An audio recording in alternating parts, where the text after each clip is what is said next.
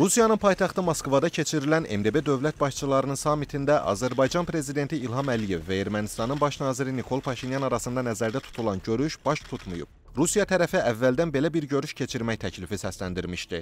Bu, rəsmi Moskva üçün də danışıqlar prosesində irəli çıxmaq baxımından önəmli idi. MDB samitində bunun üçün yaxşı fürsət də yaranmışdı. Rusiya prezidenti Vladimir Putinin köməkçisi Yuri Uşakov görüşün baş tutmamasının səbəbini üçtərəfli toplantı ilə bağlı fikir bəziləri tərəfindən dəstəklənmir sözləri ilə izah edib. Uşakov konkret kimin görüşdən imtina etdiyini açıqlamasa da, ehtimal ki, bu Ermənistan tərəfidir. Çünki Azərbaycan Rusiyanın vasitəçilik təşəbbüsünə müsbət baxır və Vladimir Putinin Bakıya səfəri zamanı da bu fikir təsdiqini tapıb. Ancaq Ermənistan bundan imtina edirdi.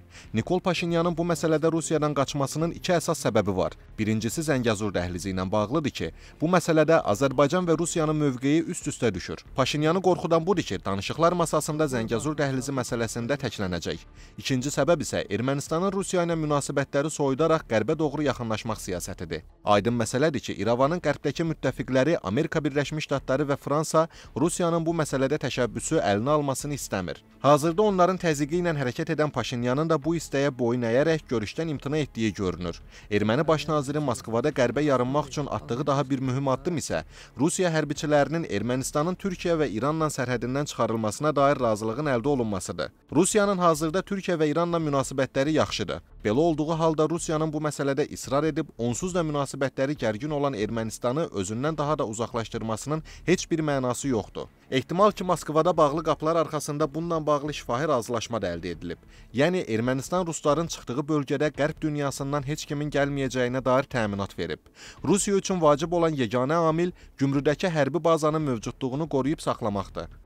Moskvada Əliyev və Paşinyanla ayrı-ayrılıqda görüşən Putin hər iki liderlə Zəngəzur dəhlizi məsələsini müzakirə edib. Bu barədə Rusiya prezidentinin mətbuat katibi Dmitri Peskov açıqlama verib.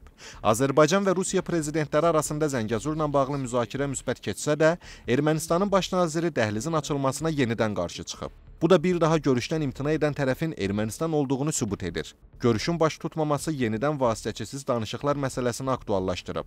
Azərbaycan və Ermənistan liderləri dəfələrlə həm Rusiya, həm də Qərb liderlərinin vasitəsi ilə görüşlər keçiriblər.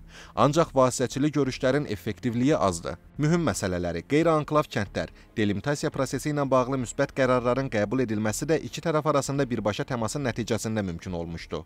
Bu da bir daha onu göstərir ki, vasitəçilərsiz birbaşa təmas hazırda ən uğurlu variantdır.